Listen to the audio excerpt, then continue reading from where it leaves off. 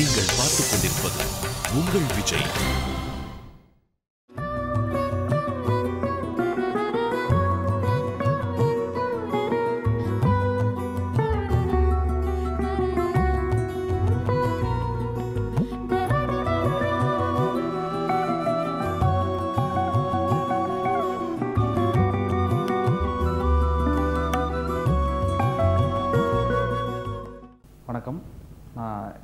பேசுகிறேன் இயக்குனர் ராஜமுருகன் இன்னைக்கு வந்து எல்லாராலும் எதிர்பார்க்கக்கூடிய எல்லாராலும் பாராட்டக்கூடிய எல்லோரும் ஒரு பெயரை திரும்ப திரும்ப சொல்லி கொண்டிருக்கிறார்கள் என்றால் அது ராஜமுருகன் என்று எல்லோருக்குமே தெரிந்திருக்கும். குக்கு திரைப்படத்தின் மூலமாக இன்றைக்கு ஒரு பரவலான கவனிப்பை ஏற்படுத்தியிருக்கக்கூடிய ராஜமுருகனை பற்றி சொல்லணும் அப்படின்னாக்க ராஜமுருகன் என்னுடைய தம்பி. ஏறக்குறைய ஒரு பதினைந்து ஆண்டுகளாக அவனோடு நான் பயணித்திருக்கிறேன். வெறும் பயணம் என்பது வந்து வெறும் ஒரு திரைப்பயணம் மாதிரி இல்லாமல் ஒரு இலக்கியத்தோடு அவனுடைய இளமை காலத்திலிருந்து அவனுடைய பள்ளி பருவத்திலிருந்தே நான் அவனை பார்த்து கொண்டிருக்கிறேன். அவனோட வளர்ச்சியின் மீது மிகுந்த அக்கறையும் அன்பும் ஆசையும் கொண்டவனாக நான் இருந்திருக்கிறேன். ஒரு ஒரு கட்டத்திலையும் ஒவ்வொரு விஷயத்தை புதிதாக தெரிந்து கொண்டு அதனுடைய ஆளுமை செலுத்தக்கூடிய ஒரு பாங்கு வந்து எப்போதுமே அவன்கிட்ட எனக்கு ரொம்ப பிடிச்சது. நான் அவன் என்று இன்றைக்கு சொல்லக்கூடிய அளவிற்கு இல்லை என்றாலும் கூட அவன் அவனுடைய வளர்ச்சியை பார்க்கிற பொழுது எனக்கு உண்மையிலேயே மிக மிகப்பெரிய ஒரு உற்சாகத்தையும் மிகப்பெரிய ஒரு மேன்மையும் அவன் மீது எனக்கு செலுத்தக்கூடிய ஒரு அன்பை அவன் கொடுத்துருக்கிறான் அப்படின்னு சொல்லலாம். குக்கு திரைப்படம் அப்படிங்கிறது வந்து கண்ணோடு கண் நோக்கின் வாய் சொற்கள் என்ன பயனும் இல்லை அப்படின்னு நம்ம சொல்கிறோம் கண்களும் கண்களும் பேசிக்கொண்டால் வாய் வார்த்தைக்கு அர்த்தமே இல்லைன்னு திருக்குறளில் நான் படிச்சிருக்கிறோம். ஆனால் கண்களும் கண்களும் பேசிக்கொள்ளாத அல்லது பார்வையே இல்லாத இரண்டு பேருடைய இதயம் எதை பேசிக்கொள்ளும் அவர்கள் உதடுகள் எதை பேசிக்கொள்ளும் என்பதை பற்றி தான் இந்த குக்கு திரைப்படம் இருக்குது கண்ணிலிருந்து தொடங்கி இதயத்தில் முடிகிறது இதயத்திலிருந்து தொடங்கி கண்ணில் முடிகிறது அப்படின்னு காலகாலமாக நம்முடைய திரைப்படங்கள் நிறைய காதல் கதைகளை சொல்லி வந்திருந்தாலும் கூட கண்களே இல்லாதவர்களுடைய காதல் எப்படிப்பட்டது? ஒரு கதாநாயகன் மட்டும் கண் இல்லாமல் நாம் பார்த்துக்கிறோம் ஒரு கதாநாயகன் மட்டும் கண் இல்லாமல் நாம் பார்த்துருக்கிறோம். ஆனால் இரண்டு பேருமே கள்ள கண் பார்வையற்றவர்களாக இருக்கிற பொழுது அவர்களுடைய காதல் எத்தகையது? அவர்களுடைய காதல் எந்த விதமான உன்னதத்தை கொண்டிருக்குது அப்படிங்கிறத பற்றி தான் இந்த திரைப்படம்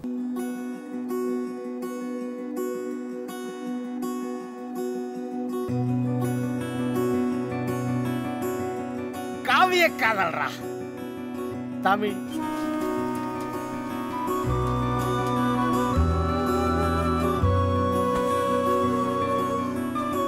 சுதந்திர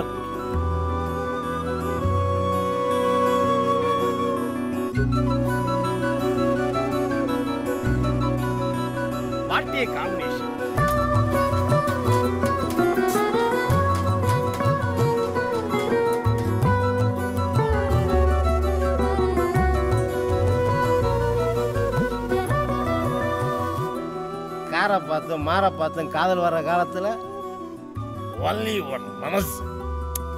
மக்கள் எப்படி அந்த பிள்ளை மேல லவ் வந்துச்சு உனக்கு?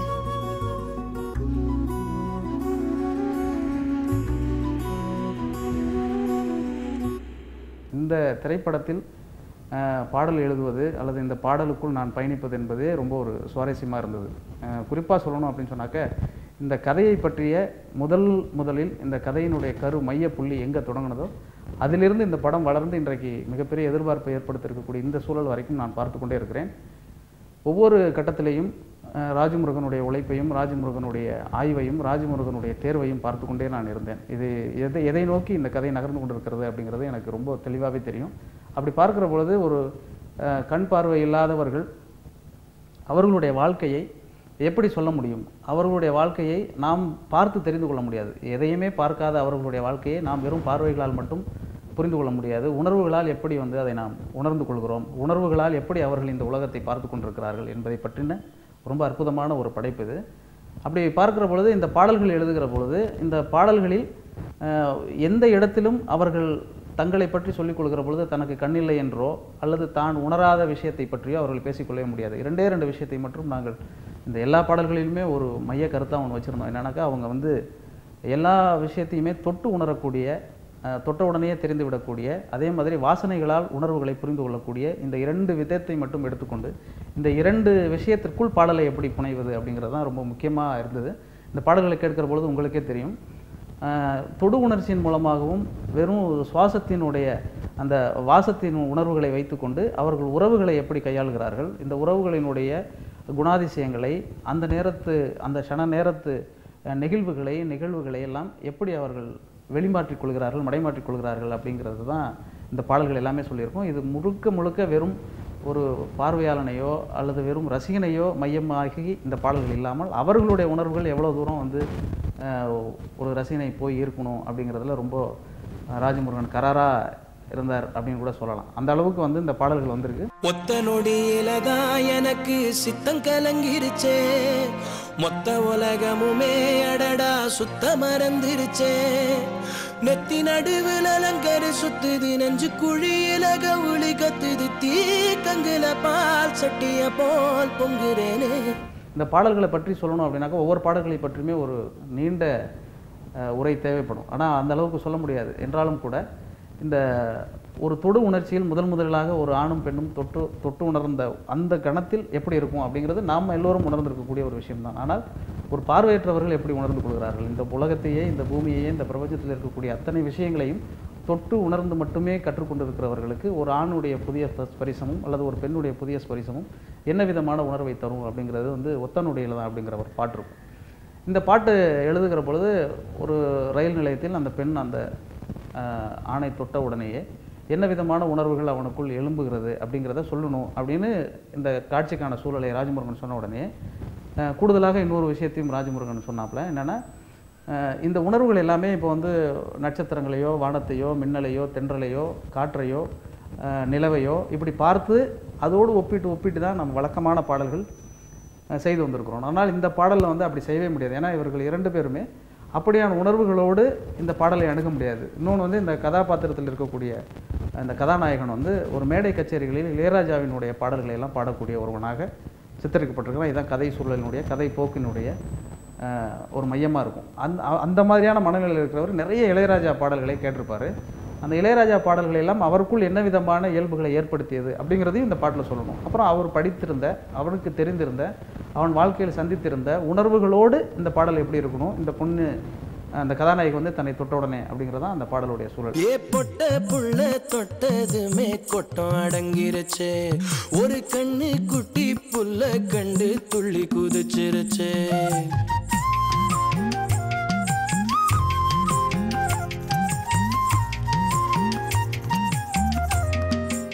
சூழலை பற்றி இன்னும் நீங்கள் படம் பார்க்கும்போது இன்னும் கூடுதலாக விவரிக்க முடியும். ஏன்னா இதை காட்சிப்படுத்தி இருக்கக்கூடிய விதத்தில் அந்த ஒளிப்பதிவாளராக இருக்கட்டும் அல்லது ராஜமுருகனாக இருக்கட்டும் இரண்டு பேரும் எடுத்துக்கொண்டிருக்கக்கூடிய சிரத்தை வந்து நீங்கள் நான் சொல்லி விலக வைப்பதை விட இந்த பாடலை நீங்கள் பார்க்கிற பொழுது புரியும். அதில் வரிகளாக எழுதுகிற பொழுது என்னென்னா எல்லா வரிகளுமே நீங்கள் உற்று கவனித்தீங்கன்னா ஒரு விஷயத்தை கண்டுபிடிச்சிட முடியும்.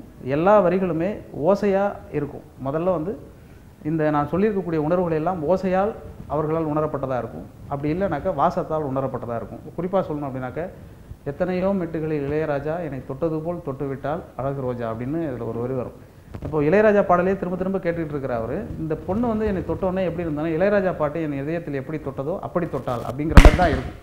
ரொம்ப கூடுதலான அணுகுமுறைகளோடு கூடுதலான உணர்வுகளோடு இல்லாமல் இயல்பான வாழ்க்கையில் இயல்பாக அவன் சந்தித்திருக்கக்கூடிய விஷயங்களை எல்லாம் இந்த பாடலுக்குள் எப்படி செய்ய முடியும் அப்படின்னு அந்த பாடலை செய்திருப்போம்.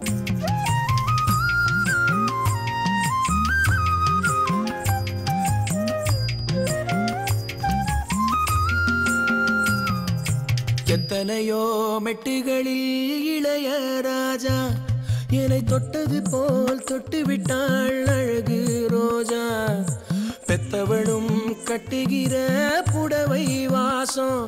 அதை ஒத்ததுதான் பெண்ணவளின் புதிய நேசம். ஒத்தி வச்சா அந்த புள்ள குண்டு மல்லி நெஞ்சுக்குள்ள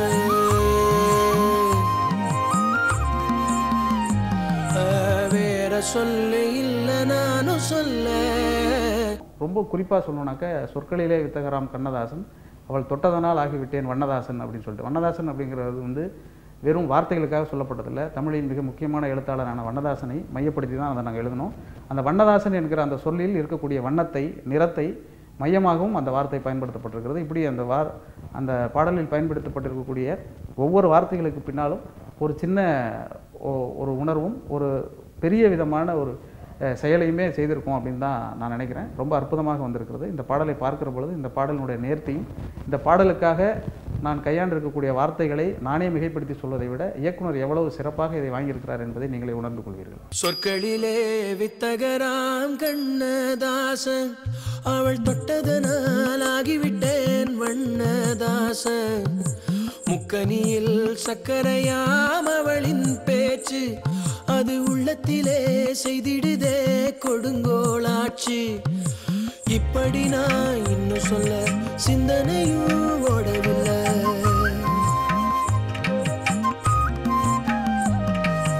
யாவும் அந்த புள்ள செஞ்சலில பொட்ட புள்ள தொட்டதுமே கொட்டம் அடங்கிருச்சு. ஒரு கண்ணு குட்டி புள்ள கண்டு புள்ளி குதிச்சிருச்சு. இந்த குக்கு திரைப்படத்தில் வந்து ரொம்ப முக்கியமான ஒரு வசனம் இருக்குது அந்த அந்த வசனம் வந்து எனக்கு திரும்ப திரும்ப யோசிக்க வைக்கக்கூடிய ஒரு வசனமாக இருக்கிறது. எனக்கு மட்டுமல்ல இந்த ட்ரெய்லரை பார்க்கக்கூடிய எல்லோருக்கும் எல்லோருடைய வீடுகளிலும் இன்றைக்கு திரும்ப திரும்ப பேசி கொண்டிருக்கக்கூடிய ஒரு வசனங்கிறது எத்தனை நாளைக்கு தாண்டா பொண்ணை கேவலப்படுத்துறீங்க? கேவலப்படுத்துறதே ஒரு வேலையை வச்சுட்டு இருக்கீங்களேன்னு சொல்லி ஒரு வசனம் வரும். அது ரொம்ப ஒரு முக்கியமான வசனம். என்னென்னா ஒரு ஒரு எந்த திரைப்படமாக இருந்தாலும் சரி அல்லது ஒரு சக வாழ்க்கையில் ஒரு யதார்த்தமான மனிதர்களை பார்க்கிற பொழுதும் பெண்களை பற்றின அவர்களுடைய மதிப்பீடு என்பது ரொம்ப குறைவானதாகவே இருக்கிறது. இது வந்து சொல்லிக் கொடுக்கக்கூடிய இந்த நேரத்தில் கூட ஒரு புள்ளி விவரம் சொல்லப்படுது. ஒவ்வொரு ஒவ்வொரு அரை மணி நேரத்திற்கும் ஒரு பெண் வந்து வன்முறைக்கு ஆளாக்கப்படுகிறாள் அப்படின்னு. அப்போது இப்படி இவ்வளவு ஒரு சமூக சூழலில் திரும்ப திரும்ப இந்த திரையாக இருக்கட்டும் அல்லது வந்து இலக்கியங்களாக இருக்கட்டும் எல்லா இடத்திலும் பெண்கள் மறுபடியும் மறுபடியும் ஒரு கொச்சைப்படுத்தப்படுவதை ஒரு சாதாரண ஒரு வசனத்தில் சொல்லிவிட முடியும் அப்படிங்கிறத வந்து ராஜ்முருகன் பதிவு செய்திருக்கிறார். இது ரொம்ப முக்கியமான ஒரு பார்வையாக இருக்கும். இனி வரக்கூடிய திரைப்படங்களிலாவது இனி வரக்கூடிய படைப்புகளிலாவது இனி வரக்கூடிய இளைஞர்களாவது இந்த வசனத்தின் மூலமாக பெண்ணை பார்க்கின்ற பார்வை என்பது வித்தியாசப்படும் மாறுபடும் என்று நான் நினைக்கிறேன். ரொம்ப நம்பிக்கை ஏற்படுத்தக்கூடிய ஒரு வசனமாக இது இருக்கிறது. எனக்கு எப்படி இந்த நம்பிக்கையை ஏற்படுத்தக்கூடிய வசனமாக இருக்கிறதோ அந்த அளவுக்கு ஒவ்வொரு பெண்ணுக்கும் இந்த வசனம் ஒரு கூடுதலான நம்பிக்கையையும் வாழ்வை எதிர்கொள்ளக்கூடிய ஒரு துணிச்சலையும் தரும் என்பதில் சந்தேகமே இல்லை. எனக்கு ரொம்ப பிடிச்ச வசனம் அப்படின்னாக்க அந்த வசனம் தான் சொல்லுவேன். ஒவ்வொருத்தையும் சாமி பொம்பளைங்களை திட்டுறதே ஒரு பேஷனை வச்சுட்டு அலையிறீங்களாடா? எப்படி இருக்குன்னு ஒரு வாட்டி பாத்துக்கவா அசிங்கமா இருந்தா விட்டுருவியா? எவனா உசுர விட்டுருவானா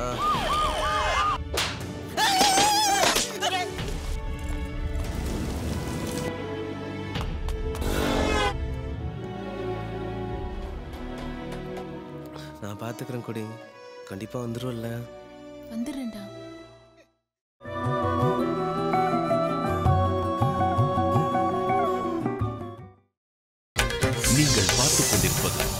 உங்கள் விஜய்.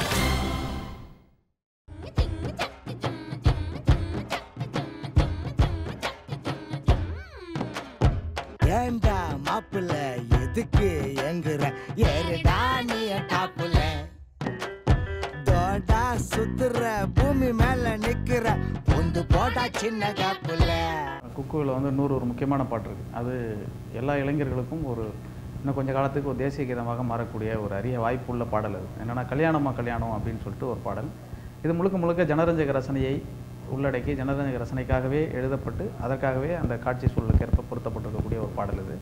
பொதுவாகவே காதல் தோல்வி அந்த காதல் தோல்வியில் வந்து உடனே ஒரு பெண்களை ஏசி அல்லது பெண்களை வேறு விதமாக சித்தரித்து ஒரு பாடல் வருவதுங்கிறது ஒரு சமீப காலங்களில் ரொம்ப அதிகமாக இருக்குது ஆனால் அப்படி இல்லாமலும் ஆனால் அதே மாதிரியான ஒரு ஒரு துணியை தரக்கூடிய ஒரு பாடல் தான் இந்த கல்யாணமா கல்யாண பாடல் இது. காதல் கண்மணியே.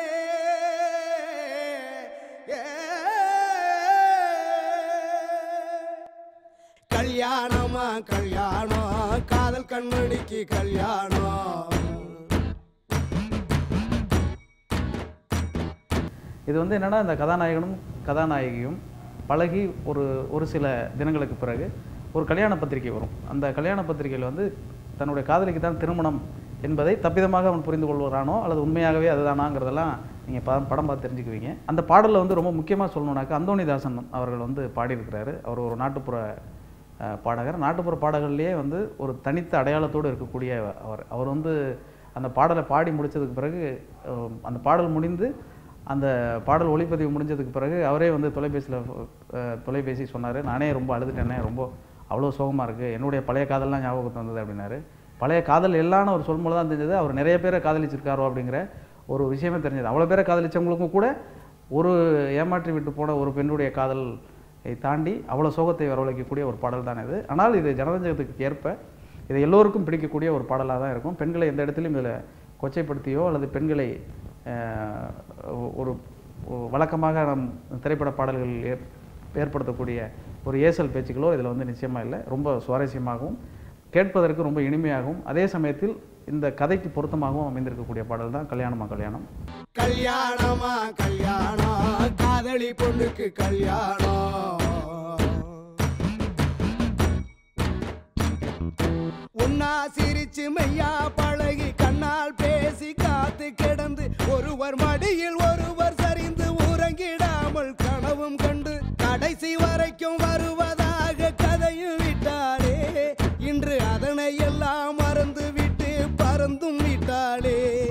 அதே மாதிரி இதில் வந்து இன்னொரு ஒரு முக்கியமான பாடல். அது வந்து என்னென்னா இந்த மொத்த படத்தினுடைய கதையையும் ஒரு பாடலில் சொல்லணும் அப்படிங்கிறது ராஜமுருகனுடைய ஒரு ஏக்கமாக இருந்தது. அதுதான் வந்து மனசில் சூறக்காத்து அப்படின்னு சொல்லிட்டு ஒரு பாடல்.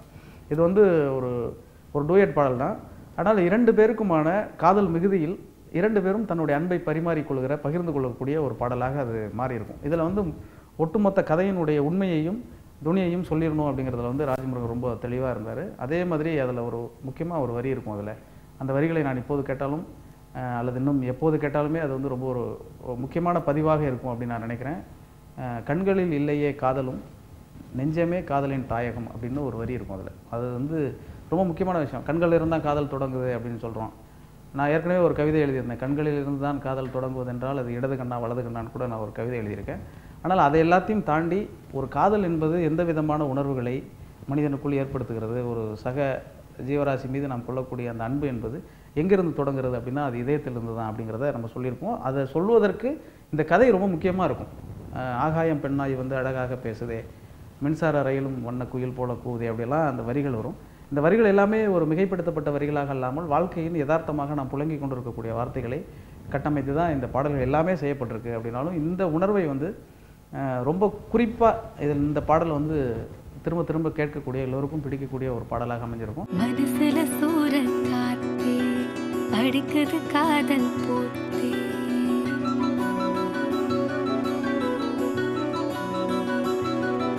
நிலவே சோறூட்டுதே கனவே தாலாட்டுதே மின்னல் ஓசையும் காதிலே கேட்குதே.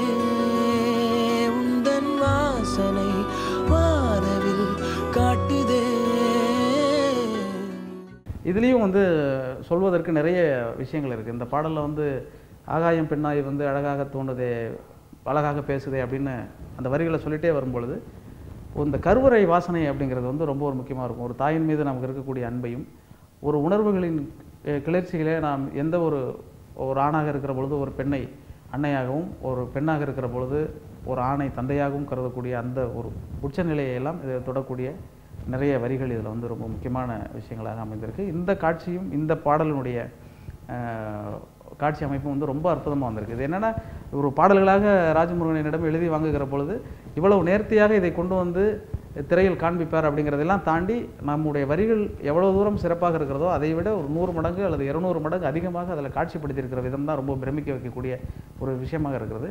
நிச்சயமாக இந்த படம் உங்கள் எல்- எல்லோருக்கும் வெறும் ஒரு ஒரு படமாக மட்டும் இல்லாமல் ஒரு பிரமிக்க வைக்கக்கூடிய ஒரு மிகப்பெரிய ஒரு புதிய அனுபவத்தை தரக்கூடிய ஒரு விஷயமாக அமையுங்கிறதுல எந்த சந்தேகமும் இல்லை.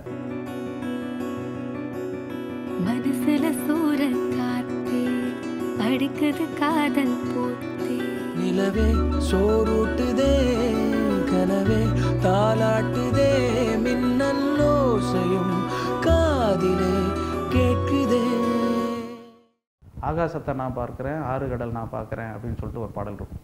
இதுவரைக்கும் எதையுமே பார்க்காத இரண்டு பேர் தன்னுடைய அன்பை வெளிப்படுத்தி விட்டதற்கு பிறகு அந்த அன்பினுடைய உச்சத்தில் இந்த உலகத்தில் இருக்கக்கூடிய மொத்தத்தையும் நான் பார்க்கிறேன் இந்த ஆகாயத்தை பார்க்குறேன் இந்த பூமியை பார்க்குறேன் இந்த பிரபஞ்சத்தை பார்க்குறேன் இங்கே இருக்கக்கூடிய எல்லா விஷயத்தையும் பார்க்குறேன் அப்படின்னு சொல்லி அவங்க மனம் பிரிட்டு பாடக்கூடிய அந்த பாடல் வந்து ரொம்ப ஒரு முக்கியமான பாடலாக இருக்கும். இதில் வந்து இன்னும் சொல்லணுன்னாக்கா ஊரு கண்ணே படும்படி உறவாடும் ஆசை தோணுதேன்னு அதில் ஒரு வரி வரும். உலகமே பார்க்கணும். ஆனால் இவங்க யாரையுமே பார்க்க முடியாது. ஆனால் உலகமே பார்க்குற அளவுக்கு நாம் வாழணும் அப்படின்னு சொல்லிட்டு அதில் ஒரு வரி வரும். இப்படி எல்லாமே வந்து கண் தொடர்பாகவும் இந்த பார்வை தொடர்பாகவும் அவர்களுக்கு இந்த பூமியின் மீது இந்த மனிதர்கள் மீது இந்த சக உயிரினங்கள் மீது அவர்களுக்கு என்னென்ன விதமான உணர்வுகள் எல்லாம் இருக்குமோ அத்தனையும் இந்த பாடலுக்குள் சொல்லப்பட்டிருப்பதாக நான் கருதுவேன்.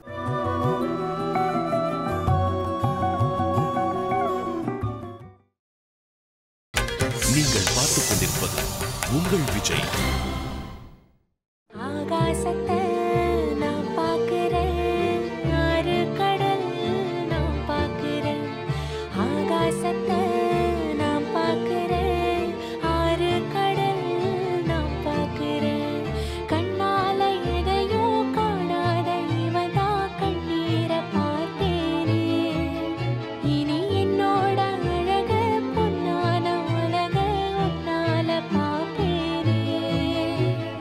இந்த படத்தினுடைய ஒவ்வொரு பாடலினுடைய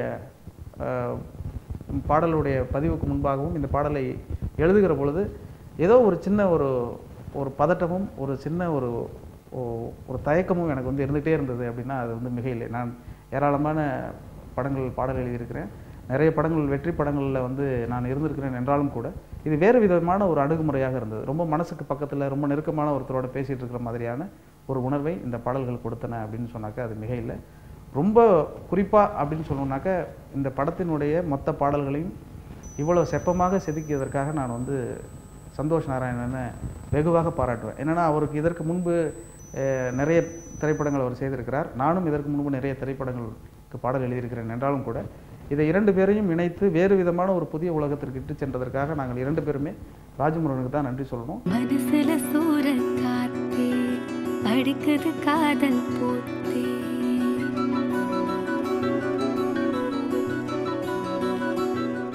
இந்த பாடல்களுக்காக விசேஷமாக எந்த தயாரிப்பும் இல்லை. ஆனால் நல்லா உற்று கவனித்தால் ஒரே ஒரு விஷயத்தை திரும்ப திரும்ப நாங்கள் செய்ய முயற்சித்திருக்கிறோம். அது ரொம்ப எளிய மனிதர்களுடைய வாழ்க்கையை மிக பெரிய அளவில் ஒரு பெரிய திரையில் பதிவு செய்யப்பட்டிருக்கக்கூடிய ஒரு முதல் திரைப்படத்திற்கான இந்த பாடல்களை நாங்கள் எழுதியிருக்கிறோம் அப்படின்னு நினைக்கும் பொழுது ரொம்ப பெருமிதமாக இருக்குது. ஒத்த நொடியில எனக்கு சித்தம் கலங்கிருச்சே. மொத்த உலகமுமே அடடா சுத்த மறந்துருச்சே ஏ பொட்ட புள்ள தொட்டதுமே கொட்டம் அடங்கிருச்சே. ஒரு கண்ணு குட்டி புல்ல கண்டு துள்ளி குதிச்சிருச்சே.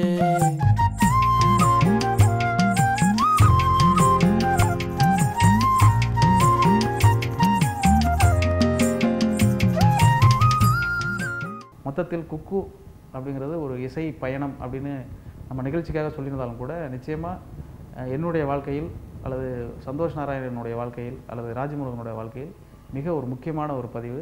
இந்த பதிவில் கலந்து கொள்ளக்கூடிய அல்லது இந்த பதிவில் ஈடுபடக்கூடிய ஒரு அற்புதமான வாய்ப்பை காலம் எனக்கு வழங்கியிருக்கிறது அப்படின்னு நினைக்கும் பொழுது உண்மையிலுமே அந்த இடத்திற்கு நான் தகுதியானவன் தானா என்பதையே மறுமுறை யோசிக்க வேண்டியிருக்கிறது.